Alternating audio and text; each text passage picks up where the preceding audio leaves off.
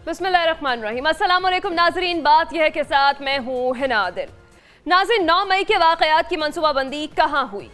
PTI की leadership को क्या ऑर्डर्स दिए गए? और इस तमाम मंसूबे का मास्टर माइंड कौन था? ये तमाम अहम तरीन इंकशाफात अब सामने आ चुके हैं। तहकीकात से जो मालूम सामने आ रही हैं, वो हैरान कन है। इंक्वायरी में इंकशाफ हुआ है कि 8 मई को इन वाकयात की मनसूबाबंदी जमान पार्क में की गई। टेक्निकल एनालिसिस और जियो फेंसिंग से ये बात साबित हो रही है कि हमलावरों से पीटीआई की आला कयादत के रबते थे। इमरान खान के जमान पार्क से छह अहम शख्सियात से रबतों का रिकॉर्ड सामने आया है। इन तमाम इंकशाफात के बाद अब जमान पार्क का घेरा तंग हो रहा है। इमरान खान के गिर्द शकंजा भी तंग हो रहा है। जमान पार्क के इलाके में इंटरनेट सर्विस भी मुअत्तल कर दी गई है। क्या इमरान खान को इन वाकयात के इल्ज़ाम में गिरफ़्तार किया जाएगा? और क्या पीटीआई पर पाबंदी लगाने के लिए हुकूमत ने प्लानिंग मुकम्मल कर ली है? और अब सियासत से इमरान खान माइनस और नवाज़ शरीफ प्लस हो चुके हैं। साथ ही नई सियासी सफबंदी पर भी बात होगी। और पंजाब इलेक्शन के हवाले से चीफ जस्टिस उमर अता बंदियाल क्या फैसला सुनाएँगे? इन तमाम मामला पर आज प्रोग्राम में हम बात करेंगे। हमारे साथ मौजूद होंगे रिजवान रज़ी साहब, नसीर वागा साहब, मियाँ दाऊद साहब और हमारे साथ होंगे सलमगे सलमान आबिद साहब। आगाज़ आपसे करती हूँ, सलमान आबिद साहब। क्या लगता है आपको तहरीक इंसाफ को कलदम जमात करार दे दिया जाएगा? और ये जो तमाम वाकयात हुए, जो अभी तक जियो फेंसिंग की रिपोर्ट सामने आई है, इमरान खान को इन वाकयात के इल्ज़ाम में गिरफ़्तार किया जा सकता है? देखिए जो जो लोग ये शौक़ पूरा करना चाहते हैं, उनके पास ये सारे ऑप्शन मौजूद हैं। वो चाहें तो इमरान खान को डिसकॉलीफाई भी कर दें, वो चाहें तो उनकी जमात पर पाबंदी भी लगा दें। वो चाहें तो इमरान खान को दहशत गर्द भी साबित कर दें और वो चाहें तो इमरान खान को जल, ज़बरदस्ती जलावतन भी कर दें। जो चाहें आप कर सकते हैं क्योंकि जब ताकत आपके पास होती है तो आपके पास ये सारे ऑप्शन होते हैं। सवाल ये है कि क्या पाकिस्तान की सियासी तारीख में ये कोई पहला अमल हो रहा है? सियासी जमातों की नाहली क़्यादत की नाहली उनको जेलों में डालना उनके ऊपर मुकदमे बनना इस तरह की दहशतगर्दी के पर्चे कटना ये कोई नई चीज़ तो नहीं है। मैंने पहले भी कहा था इसी अमल से पीपल्स पार्टी भी गुजरी है एम भी गुजरी है पी एम एल एन भी गुजरी है, अब पी टी आई भी गुजर रही है। अब हालात व वाक़ात साबित करेंगे कि पी टी आई की क्यादत, यानी इमरान खान और उनकी पार्टी, जो इस वक्त जिनके खिलाफ बड़ी, एक से कहते हैं, घेरा तंग कर दिया गया है। आज आप देखिए ना, माशाल्लाह, कितने शानदार अंदाज से जो लोगों ने फैसल वाडा की और फवाद चौधरी की मुलाकात पहले अरेंज करवाई। फिर उसके बाद जो है, उनकी मुलाकात किसी और जगह होती है और फिर उसके बाद जो है, वो पार्टी छोड़ने का ऐलान कर देते हैं। इसी तरीके से श्री मजारी के साथ जो कुछ हुआ, वो भी हमने देखा। बाकी लोगों के ऊपर भी दबाव है। अगर यही पाकिस्तान की सियासत है, यही पाकिस्तान की जमहूरियत है, यही पाकिस्तान का आइन है, यही पाकिस्तान का कानून है तो ठीक है, करते रहें, क्या फ़र्क पड़ता है? पहले भी कर रहे थे, मज़ीद कर लें। लेकिन ये तजर्बे सारे के सारे पाकिस्तान की सियासत में पहले भी नाकाम हुए और आज भी ये नाकामी से दो चार होंगे, क्योंकि अगर हम सियासी मामला का हल, सियासी अंदाज से नहीं ढूंढेंगे और इंतज़ामी और कानूनी बुनियाद पर या ताकत के अंदाज में चीज़ों को रिजॉल्व करने की कोशिश करेंगे। हो सकता है वक्ती तौर पर आपको उसका फ़ायदा हो जाए, लेकिन ये लॉन्ग टर्म फ़ायदा नहीं देता। नवाज़ शरीफ एक हकीकत के तौर पर आज भी खड़े हैं। पीपल्स पार्टी एक हकीकत के तौर पर भट्टो फिनोमना के साथ आज भी खड़ी है। अल्ताफ़ हुसैन अगर माइनस हो गए हैं, लेकिन उनकी एम आज भी कराची के अंदर एक हकीकत तो है। इसी तरीके से पीटीआई भी एक हम्म। हकीकत रहेगी। लेकिन उसके अंदर साहब बड़ी जो अहम डेवलपमेंट है अब तक की वो तो ये है कि सीनियर नायब सदर जो हैं फवाद चौधरी साहब भी पार्टी छोड़ चुके हैं। आपने इससे ज़्यादा के बाद दीगरे नहीं आपने इससे ज़्यादा दिलचस्प खबर नहीं सुना? जो मैंने तबसरा किया वो ज़्यादा हैरानगी का नहीं है? वो वो दिलचस्प अपनी जगह पे है वक्त की अहम डेवलपमेंट ये थी तो जो कि मैंने नाजरीन तक भी पहुंचानी थी। सुनना नहीं चाहती। मैं मैं सुनना चाहती हूँ सुने ना। मैं कह रहा हूँ कि जिन्होंने फैसल वाडा की और फवाद चौधरी की मुलाकात करवाई वो ज़्यादा इंपॉर्टेंट नहीं लग रही आपको? आपको नहीं पता चल रहा कि किसके ताने बाने कहाँ से जाके चीज़ें जुड़ रही हैं? कौन लोग हैं जो इस तरह की चीज़ें कर रहे हैं? हुकूमत कैसे कहती है कि जी हमने पार्टी के ऊपर बैन करना है? ये तो राना सनाउल्ला की पहली और आखिरी ख्वाहिश भी है। अब अपना ख्वाजा असफ भी कह रहे हैं, लगा दें बैन, क्या फ़र्क पड़ता है? तो आई कोई आसमानी सहीफा तो नहीं है? आप सियासी जमातों पर बैन करना चाहते हैं, वो भी करके देख लें। मैं तो कह रहा हूँ, जो शौक पूरा करना चाहते हैं, वो करें। लेकिन इससे अगर कोई समझता है कि पाकिस्तान की सियासत बेहतर हो जाएगी पाकिस्तान की मीशत बेहतर हो जाएगी। पाकिस्तान आगे बढ़ना शुरू हो जाएगा। पाकिस्तान के अंदर माशी तरक्की के इम्कान खुल जाएँगे। तो ये तजर्बा कर लें, ताकि किसी के दिल में ये ख्वाहिश ना रहे कि हम ये तजर्बा किए बगैर आगे चले गए। हमें तो ये तजर्बा करना चाहिए था जो इस वक्त हम कर रहे हैं। अनफॉर्चुनेटली सवाल क्या है? आज जो वो जज साहब ने रिमार्क्स दिए ना, असद उमर के बारे में, कि मैं तो आपको रिहा कर दूँगा, लेकिन बाहर आपको पहले प्रेस कॉन्फ्रेंस करनी पड़ेगी, वगरना आपकी रिहाई मुमकिन नहीं है। यानी अब आप अंदाज़ा लगाइए कि हमारे अदलिया के अंदर बैठे हुए जज कह रहे हैं कि मेरे फैसले की कोई अहमियत नहीं है। अगर आपने अपनी रिहाई को मुमकिन बनाना है तो प्रेस कॉन्फ्रेंस करें फैसल वादा से मिले। तो इस तरह की चीज़ों के साथ ये तो इनकलाब के दावे थे ये तो तब्दीली के नारे थे झाक की तरह बैठ गए सब। तो आपका ख्याल है कि नवाज़ शरीफ साहब आपका ख्याल है कि बर्दाश्त नहीं कर आपका ख्याल ये है कि नवाज़ शरीफ साहब की जब पार्टी खाली हुई थी उन्होंने क्यों नहीं ये तमाम तकालीफ बर्दाश्त की? आपका ख्याल है कि पंजाब में जब पीपल्स पार्टी खाली हुई उन्होंने क्यों नहीं ये तकालीफ बर्दाश्त की? देखिए जो हमारे इलेक्टेबल्स होते हैं उनकी अपनी सियासी मजबूरियाँ हैं। उनके उनके ऊपर बड़े प्रेशर होते हैं। वो देखते हैं कि हवा का रुख किस तरफ़ है। ये कोई पहली दफ़ा हो रहा है कि जो हम यहाँ पे बैठ के बहस कर रहे हैं। हमारे यहाँ हमेशा से जब पार्टी पे मुश्किल वक्त आया है तो पार्टियाँ खाली हुई हैं। पार्टियों ने बहुत लंबे अरसे तक अपने आप को मुजामत के साथ जोड़ने के बजाय मफामत का रास्ता अख्तियार किया है। मुस्लिम लीग काफ के अंदर तजर्बा में देख लिया मुस्लिम लीग नून का तजर्बा देख लिया एम क्यू एम का तजर्बा देख लिया पीपल्स पार्टी का तजर्बा देख लिया अब हम पीटीआई का तजर्बा भी देख रहे हैं। इसमें नई चीज़ क्या है? ठीक है, रज़ी साहब, बड़ी अहम डेवलपमेंट है, फवाद चौधरी साहब भी छोड़ गए हैं, पाकिस्तान तरीके इंसाफ। आपके ख्याल में अगला नंबर किसका होगा? और जरा इस पर भी रोशनी डालें कि ये किसी दबाव का नतीजा है या फिर बस तेरह दिन में कैदोबंद की सहबतें बर्दाश्त नहीं हुई लीडरशिप से? देखिए, ये तो इनकलाब लाने के लिए निकले थे, ये नो नहालाने इनकलाब जो थे। इनका ख्याल था ये घर में बैठ के ब्रांडेड खुराक खाएँगे इम्पोर्टेड खुराक खाएँगे ब्रांडेड कपड़े पहनेंगे। और उसके नतीजे में इनकलाब चलता हुआ जो है वो पूरे मुल्क के अंदर आ जाएगा आ, इनकी तो यही ग्रूमिंग थी देखिए इन दो लोगों की अजमत शहदा कन्वेंशन का इनका किया गया इस वक्त एहसन इकबाल तकरीब से खिताब कर रहे थे। प्रोग्राम की जानब वापस आते हैं। रिजवान रज़ी साहब आप बात कर रहे थे कंटिन्यू कीजिए। दोबारा दोबारा करें ताकि मैं वहीं से अच्छा, शुरू कर मुझे मुझे ये बताइए कि क्या इन तमाम वाकयात के बाद इमरान खान साहब को गिरफ़्तार किया जा सकता है? पाकिस्तान तरीके इंसाफ को कलदम करार दे दिया जाएगा? देखिए अगर तो हम जिस तरह कानून का आ, को घुमाया जा रहा है या आगे बढ़ाया जा रहा है तो इसका अल्टीमेट तो यही होना है। लेकिन अगर मैं अपने ज़राए के ऊपर एतबाद करूँ जिनसे मेरी कल बात हुई थी और मैंने तस्करा भी किया था तो ज़राए कहते हैं कि अभी तक इमरान खान साहब को मुस्तबिल करीब में गिरफ़्तार करने का कोई इरादा नहीं है। और उस इस वक्त देखिए जो हुकूमत है या जो उनके साथ इस्टबलिशमेंट है आ, हमने उनसे ये दरियाफ्त करने के लिए रबता किया था कि ये जो कारकुनान हैं और इमरान खान साहब ने भी अड़तालीस घंटे पहले जो उन्होंने यूम की मुलाकात की है उसके ऊपर उन्होंने तीन स्ट्रेटजी पॉइंट दिए हैं सोशल मीडिया टीम को। एक तो जो लोग कैद हैं उनको ओन नहीं करना और ख़ास तौर पे जो जियो फेंसिंग के अंदर आ जाए उसके लिए कोई आवाज़ नहीं उठानी। अच्छा। लेकिन जो खातन हैं अंदर उनके हवाले से ये प्रोपेगेंडा करना है कि उनके साथ मिसबिहेव हुआ है। और कहीं से लाशें ढूंढ के उसके नीचे नाम लिख के ये पीटीआई का बंदा था। कहीं से कोई लाश उठा के, उसकी तस्वीर उठा के, उसके नीचे नाम लिख के ये पीटीआई का बंदा था। क्योंकि 25 पूरे नहीं हो रहे जिनके नाम के ऊपर पाँच लाख डॉलर मांगनी है। इस इस स्ट्रेटजी को सुनने के बाद मैंने सरकारी जराए से रबता किया था कि जनाब, आपने जो गरीब के बच्चे को बंद करके रखा हुआ है, उसकी कोई सुनवाई नहीं है। खदीजा शाह आज ही पेश होती हैं और आज ही उन्हें जुडिशल रिमांड पे जेल भेज दिया जाता है। लोग अपने बच्चों के चलिए ठीक है उनका सियासी नज़रिया मुख्तलिफ़ है लेकिन उनके वेट अबाउट्स पता करने के लिए बावले हुए फिर रहे हैं तो आप उनके खिलाफ कोई लीगल प्रोसीडिंग हम्म। का आगाज़ करें ताकि उनका कोई स्टेटस क्लियर हो कि वो कहाँ हैं वो ज़िंदा हैं या नहीं हैं वो किसकी कैद में हैं उनको किस जुर्म के अंदर रखा गया है कौन सी दफ़ा लगाई गई है उनके ऊपर ये हमने दरियाफ्त करने के लिए आ, कुछ हुकाम से रबता किया था तो उन्होंने यही कहा था कि फ़िलहाल तो वेट एंड सी की पॉलिसी चल रही है। और इनमें से बहुत सारे लोग जो हैं वो इसी सोबत को बर्दाश्त ना करते हुए अपनी सियासत से तायब हो जाएँगे और हमें कुछ करने की ज़रूरत ही नहीं पड़ेगी अदालतों में जाने की ज़रूरत ही नहीं पड़ेगी। जिसके दो शाहकार देखिए ये ये फेस थे। आ, मैं आखिरी फिक्रा। हम्म। फवाद चौधरी साहब और शीरी मजारी साहबा। हम्म। हर मौजू के ऊपर सबसे पहले ठक करके इनका ट्वीट आता था। ये फेस थे पीटीआई का मीडिया के ऊपर और पीटीआई सोशल मीडिया की पार्टी है। इसमें तो कोई दूसरी राय नहीं है। तो सोशल मीडिया के जो फ्रंट जर्नैल थे वो पार्टी छोड़ गए हैं और उसकी बुनियादी वजह यह है कि भाई वो सख्तियाँ बर्दाश्त नहीं कर सकते। वरना तो तीसरी न, चौथी नस्ल है ना फवाद चौधरी साहब की सर खिजर हयात के साथ इनके बुज़ुर्ग सियासत किया करते थे। सही है।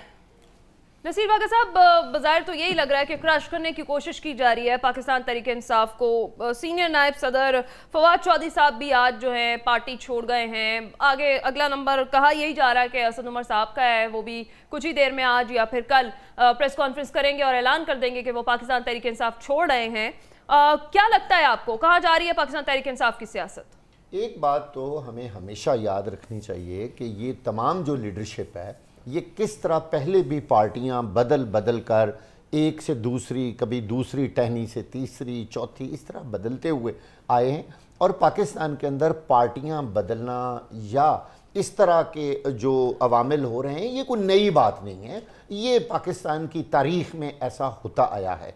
लेकिन 9 मई के फ़ौर बाद एक बात आप बहुत गौर करें इस बात पे कि क्या ये गिरफ्तारियों के बाद ही इनको याद आई हैं पार्टियाँ छोड़नी? जब 9 मई का वाक्य आया था हुआ था और जिस जिसको ये बात बुरी लगी मेरे समेत सारे पाकिस्तान को कि फौजी तनसीबात पर हमला नहीं होना चाहिए था फौज के खिलाफ इस तरह का एक्शन नहीं होना चाहिए था तो फिर ये 10, 11, 12 मई को सामने आ जाते ना कहते कि हमें ये चीज़ पसंद नहीं आई और हमने इस जमन में पार्टी छोड़ने का ऐलान कर दिया है। तो हम भी समझते कि भाई वाकई ये इस मोहब्बत में इन्होंने कुर्बानी दी है। ऐसी बात हरगिज नहीं है। आप देखें, ये सब लोग पिछले दिनों से चार चार, पाँच पाँच मुकदमात में जेलों की हवा खा चुके हैं और सिर्फ़ जेलों की हवा नहीं खा चुके। मैं आपको पूरी मैं कंफर्म ये बात बता रहा हूँ, इन्होंने इतना तशद बर्दाश्त किया है पुलिस का और दूसरे इदारों का कि शायद आप सोच भी ना सकें। जेल हुकाम ने ऐसे लोगों को जेलों में लेने से इनकार कर दिया जो लोग पहले से तशद थे जिन पे तशद हो चुका था। अच्छा। ये जेल का कानून है कि वो किसी भी तशद ज़दा किसी मुजरम या मुलजम को जेल में नहीं लेते। अच्छा अब देखना ये है कि ये हालात क्यों आए? इसका मतलब यह है कि ये जो ऊपर नीचे पार्टी छोड़ने का एक बल्कि उन लोगों ने अब आपने कभी सोचा था फवाद चौधरी और शीरी मजारी भी पाकिस्तान तहरीक इंसाफ छोड़ सकती है। फिर उन अवामिल और वो हालात सोचें कि वो क्या हुआ, जिसकी वजह से उनको इस हद तक आना पड़ा। अब अगर हम यही कहते रहेंगे हाँ ये तो हमेशा से ऐसा होता रहा है, जैसे मैंने भी शुरू में कहा, ओ भाई, ये क्या सारी ज़िंदगी ऐसा होना है? क्या ये काम बंद नहीं होना? जी राना साहब पे एक पर्चा हुआ, मुझे याद है राना सनाउल्ला साहब पर उन वो आज भी कह रहे थे कि जी मैंने हम्म। मैं डेथ सेल में वहाँ रहा। हालाँकि वो गलत बात थी। मुझे पता है वो कहाँ रहे। इशू सिर्फ़ इतना है कि हमने क्या माजी को ही बार बार सामने लेके आना है और उसी को ही हमने जारी रखना है। ओ भाई, किसी हद पर तो हमने सही होना है ना? किसी स्टेज पर तो निज़ाम को ठीक करना है ना? कब तक हम बर्बाद होते रहेंगे? कब तक अपने मुल्क की बर्बादी सोचते रहेंगे? अभी सलमान आबिद साहब मुआशी हालात का ज़िक्र कर रहे थे। मैं एक मिनट में आपको ये बता दूँ कि जनूबी एशिया में पाकिस्तानी रुपया इस वक्त खित, इस खिते में श्रीलंका से भी कमज़ोर हसीियत इख्तियार कर चुका है। आपकी तमाम बातें दुरुस्त मुझे ये बताइएगा कि क्या वाकई हुकूमत ने प्लानिंग कर ली है कि आगे माइनस इमरान और माइनस पाकिस्तान तरीके इंसाफ होगी सियासत? जी सौ फ़ीसद। हुकूमत ने ये पूरी प्लानिंग कर रही है कर ली है कि या माइनस इमरान माइनस तहरीक इंसाफ ही ये काम चलेगा, वरना आखिरी बात एक कहने लगा हूँ, आप सुन लीजिए। इमरान खान को बैन कर दें और अगर तहरीक इंसाफ को बैन नहीं करेंगे, देख लीजिएगा कई फवाद चौधरी और कई शीरी मजारी जो वो पैदा होंगी और एक नई शक्ल में पार्टी सामने आ जाएगी, इसलिए गवर्नमेंट ने और अहम इदारों ने यह फैसला किया है कि तहरीक इंसाफ को किसी तरह से बंद डब्बे में डाल दिया जाए। ठीक है, बिल्कुल ठीक है। मियाँ दाऊद साहब की जानब भी हम जाएँगे, लेकिन मुझे यहाँ पर ब्रेक का कहा जा रहा है। ब्रेक से जब वापस आने पर मियाँ दाऊद का क्या मौकफ है ये जानेंगे और इसके साथ साथ बात ये करेंगे कि नई सियासी सफबंदियाँ, क्या तहरीक इंसाफ में फॉरवर्ड ब्लॉक बनने का इम्कान है? इस पर बात करेंगे इस ब्रेक के बाद।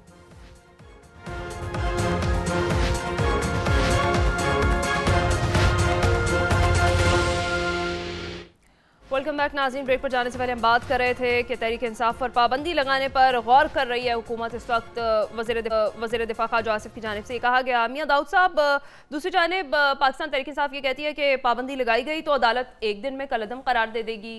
क्या कहता है कानून इस हवाले से? आ, वो पीटीआई जो ये बात कह रही है कि अदालत एक दिन में कलदम करार दे देगी वो कह तो बिल्कुल दुरुस्त रहे हैं। जो अदालत एक मुलम को इंतज़ामी सतह के ऊपर मुलजमों वाली गाड़ी की बजाय मर्सिडीज़ वाली गाड़ी प्रोवाइड कर सकती है। 24 घंटे के अंदर अंदर एक मुलजम को रिहा कर सकती है। रिमांड के दौरान प्रोसीडिंग को कलदम कर सकती है। वो कुछ भी कर सकती है वो अदालत। तो ये इस हद तक तो पीटीआई दुरुस्त कह रही है और जहाँ से फिर अदालतें पीटीआई के हक में फैसले आ रहे हैं, वो साकब निसार साहब का घर, उनकी ऑडियो लीक्स, वो ख्वाजा तारक रहीम की गुफ्तु तो वो उस पैराए में को मद्देनजर रख अगर पीटीआई के क्लेम को देखें तो वो दुरुस्त कह रहे हैं। रह गई बात तहरीक इंसाफ पर पाबंदी लगने के हवाले से। मैं ज़ाती तौर के ऊपर इस बात के ख़िलाफ़ हूँ कि किसी भी सियासी जमात के ऊपर पाबंदी जो है वो आयद होनी चाहिए। हर सियासी जमात को जो है वो काम करने का हक हासिल है। लेकिन ये भी हमारे आइन में और कानून में लिखा हुआ है कि अगर कोई जमात या कोई गिरोह या कोई शख्स पाकिस्तान की सलामती के ख़िलाफ़ और इंटेग्रिटी के ख़िलाफ़ जो है काम करने की कोशिश करे तो फिर उसको कलदम जो है वो करार दिया जाएगा और जिस तरह के शवाहद सामने आ रहे हैं और जियो फेंसिंग की आप रिपोर्ट्स हम्म। उठा कर देख लें टेक्निकल एनालिसिस उठा के देख लें पिछले एक साल से इमरान खान साहब के हक में जो आ, एंटी पाकिस्तान और एंटी इस्लाम ज्यूज लॉबी है उनकी स्टेटमेंट्स उठाकर देख लें अच्छा। और इमरान खान साहब के रियासती इदारों के साथ बयान उठाकर देख लें फिर हालिया 9 और 10 मई के वाकयात से पहले इमरान खान साहब की और उनके लीडरान की हदायत देख लें तो उससे तो बिल्कुल ये बात साबित हो गई कि इमरान खान साहब जो है वो किसी आलमी एजेंडे के तहत पाकिस्तान को श्रीलंका लीबिया या शाम बनाने की उन्होंने साजिश की लेकिन खुशकिस्मती से अस्करी की आदत की और जो रियाती अदारे हैं उनकी दानशमंदी की वजह से उनको वो मौका फ्राहम नहीं किया गया और उस साजिश के ऊपर जो है वो काबू पा लिया गया। इन सारे शवाहद की बुनियाद के ऊपर तो ये तकाजा होता है कि इनके ऊपर जो है वो पाबंदी लगनी चाहिए लेकिन जो सबसे ज़्यादा अफसोसनाक बात पिछले दस दिन से हो रही है और उसके ऊपर कोई बात नहीं कर रहा इमरान खान साहब पाकिस्तान से फरार होने की कोशिश कर रहे हैं वो मिन्नतें डाल रहे हैं तमाम आलमी ताकतवर लोग जो हैं अच्छा। खास करके अमेरिकन लॉबी के लोग जो हैं वो इमरान खान साहब के लिए पिछले आज तेरह दिन से मुतहरक हुए हुए हैं। अभी गैर मुसदा रिपोर्ट्स के मुताबिक इमरान खान साहब का जिमामा से दोबारा रबता हुआ है और उन उन्होंने उनको कायल किया है और अगर इमरान खान साहब को पाकिस्तान से इन फसादात की सजा के बगैर भेजा जाता है है। तो मैं ये समझता हूँ मैं ये समझता हूँ कि ये पाकिस्तान को सजाए मौत देने के बराबर होगा। अगर आप, आप इमरान खान साहब को इन फसादात का ट्रायल किए बगैर वो इन मुकदमात को फेस करें बरी हो जाए इसमें कोई दूसरी राय नहीं है। लेकिन इन मुकदमात में जहाँ एक आम कारकुन को जो है उनको उस, उसको सख्त कानूनी कार्रवाई का सामना करना पड़ रहा है। वहाँ पर एक डॉक्टर इसरार साहब की बात के मुताबिक एक यहूदी एजेंट को आप पाकिस्तान में साजिश करने के बाद फरार होने का बड़ा आसानी से रास्ता फराम कर दें तो ये पाकिस्तान के ऊपर इससे बड़ा बहत्तर साल में जुल्म ही कोई नहीं होगा। तो मेरी राय के मुताबिक रियासत को यह फैसला करना चाहिए कि क्या वो ये चाहते हैं कि 10-15 साल के बाद फिर इस तरह का कोई बैरूनी एजेंट जो है वो पाकिस्तान में साजिश करने की कोशिश करे या इस मरतबा जो भी लोग इसके अंदर मुलवस हैं उनको कानून के मुताबिक सजा देनी चाहिए। बिल्कुल ठीक है। आगे बढ़ते हैं जी। पाकिस्तान तरीके इंसाफ के रहनुमा जहांगीर तरीन जो है, लाहौर में डेरा डाले हुए हैं और ज़रा ये कहते हैं कि जहांगीर तरीन से पार्टी के कई रहनुमाओं ने भी मुलाकातें की हैं और एक हफ़्ते के दौरान से 20 से ज़्यादा हम सियासी शख्सियात मुलाकात कर चुके हैं। सबक रहनुमा, पाकिस्तान तरीके इंसाफ, जहांगीर तरीन अब सियासत में दोबारा सरगर्म दिखाई दे रहे हैं। नई सियासी सफबंदियाँ हो रही हैं। सवाल ये उठ रहा है कि क्या पाकिस्तान तरीके इंसाफ में फॉरवर्ड ब्लॉक बनने का इम्कान है? नसीर वागा साहब। आपने सुना है ना, वो पंजाबी में, सजना ये महफल असी तेरे लिए सजाई है।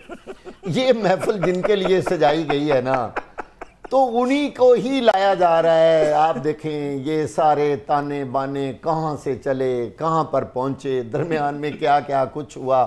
भाई, कौम इतनी पागल तो है नहीं। ना देखने वाले इतने बेवकूफ़ हैं, ना वो अंधे हैं। वो समझ रहे हैं कि कौन क्या कर रहा है और कौन किस जगह पर अपना किरदार अदा कर रहा है। लोगों से कुछ ढका छुपा नहीं है।